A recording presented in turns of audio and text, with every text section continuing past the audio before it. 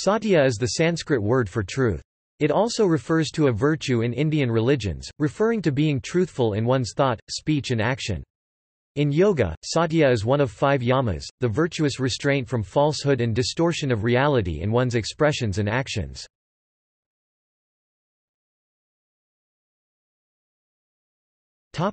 Etymology In the Vedas and later sutras, the meaning of the word satya, satya evolves into an ethical concept about truthfulness and is considered an important virtue. It means being true and consistent with reality in one's thought, speech and action. A related concept, sattva, also derived from sat, means true essence, nature, spiritual essence, character. Sattva is also a guna, a psychology concept particularly in the Samkhya school of philosophy, where it means goodness, purity, clean, positive, one that advances good true nature of self. Satya has cognates in a number of diverse Indo-European languages, including the word sooth in English, istina, istina in Russian, sanhet in Norwegian and in Avestan, the liturgical language of Zoroastrianism.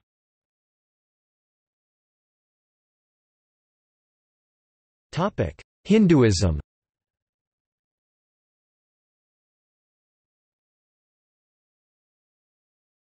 Topic: Vedic literature Satya is a central theme in the Vedas. It is equated with and considered necessary to the concept ardhya Sanskrit artam artam that which is properly joined, order, rule, nature, balance, harmony. Ardhya results from Satya in the Vedas, states Holdrege, as it regulates and enables the operation of the universe and everything within it. Satya truth is considered essential, and without it, the universe and reality falls apart, cannot function. In Rigveda, opposed to Rita and Satya are Anrita and Asatya falsehood. Truth and truthfulness is considered as a form of reverence for the divine, while falsehood a form of sin. Satya includes action and speech that is factual, real, true and reverent to Ardhya in Book 1, 4, 6, 7, 9 and 10 of Rigveda. However, satya isn't merely about one's past that is in context in the Vedas, it has one's current and one's future contexts as well. De Nicolás states, that in Rigveda, Satya is the modality of acting in the world of Sat, as the truth to be built, formed or established.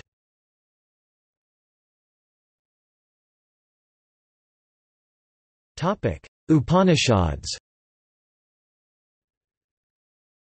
Satya is a widely discussed concept in various Upanishads, including the Brihadaranyaka Upanishad where Satya is called the means to Brahman, as well as Brahman being, true self.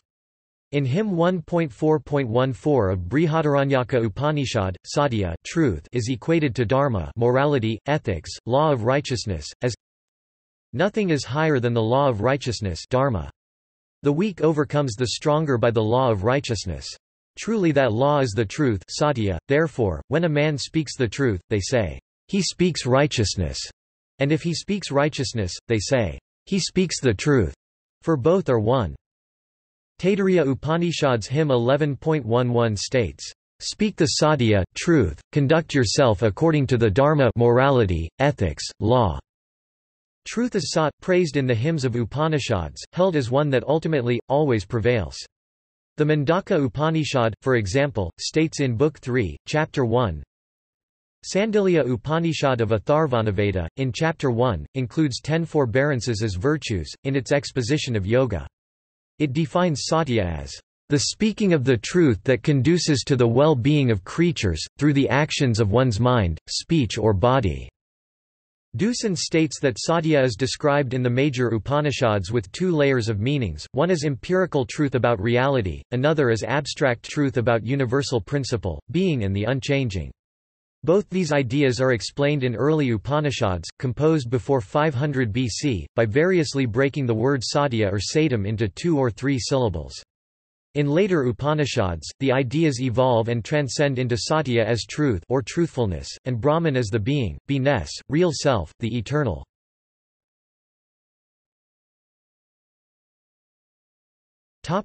Epics The Shanti Parva of the Mahabharata states, "...the righteous hold that forgiveness, truth, sincerity and compassion are the foremost of all virtues." Truth is the essence of the Vedas. The epic repeatedly emphasizes that satya is a basic virtue, because everything and everyone depends on and relies on satya. Satyasya Vaikanam sadhu na satyata vidyat parama satina vidyachartam sarvam sarvam satya paradisthatama api papakartu radra satam kurtva prathaka prathaka adrohama avisanvadam parivartante tadasraya te sina mitho dhartam kariyara vinajyara asansayama To speak the truth is meritorious. There is nothing higher than truth. Everything is upheld by truth, and everything rests upon truth. Even the sinful and ferocious, swear to keep the truth amongst themselves, dismiss all grounds of quarrel and uniting with one another set themselves to their sinful tasks, depending upon truth. If they behaved falsely towards one another, they would then be destroyed without doubt.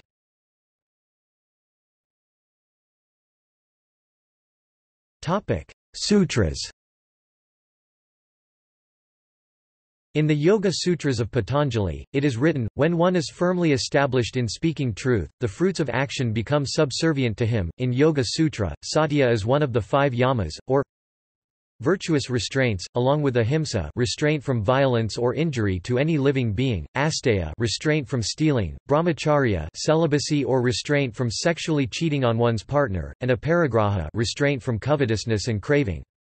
Patanjali considers satya as a restraint from falsehood in one's action body, words speech, writing, or feelings, thoughts mind.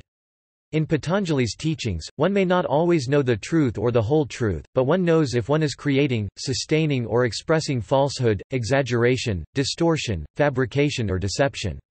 Satya is, in Patanjali's yoga, the virtue of restraint from such falsehood, either through silence or through stating the truth without any form of distortion.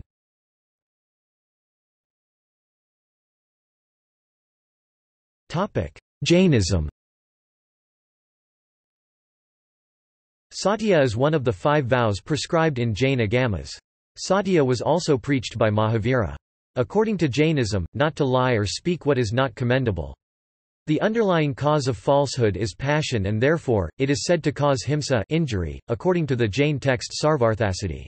That which causes pain and suffering to the living is not commendable, whether it refers to actual facts or not.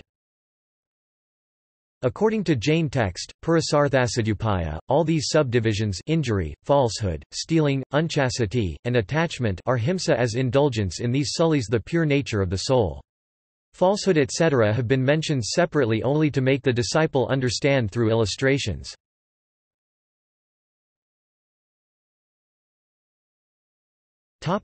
Buddhism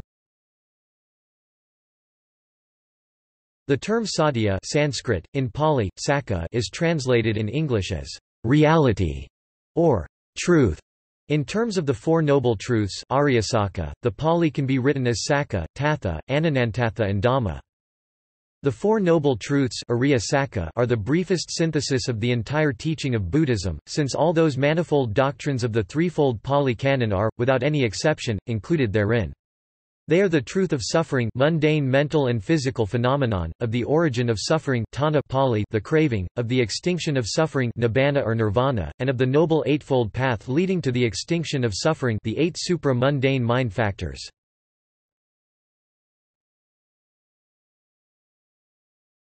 Sikhism The Gurmukhs do not like falsehood, they are imbued with truth, they love only truth. The Shaktas, the faithless cynics, do not like the truth, false are the foundations of the false. Imbued with truth, you shall meet the Guru. The true ones are absorbed into the true Lord.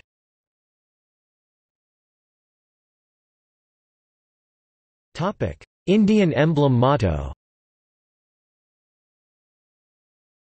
The motto of the Republic of India's emblem is Satyameva Jayate which is literally translated as Truth alone triumphs.